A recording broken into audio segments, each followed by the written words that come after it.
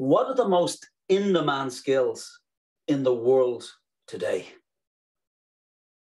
Research conducted by, amongst others, the Harvard University and the Carnegie Foundation have all concluded that around 15% of our success in business, and I believe in life as well, is due to our technical skills. And 85% is due to our ability to manage ourselves and deal effectively with other people. And I actually believe that 85% is actually rising.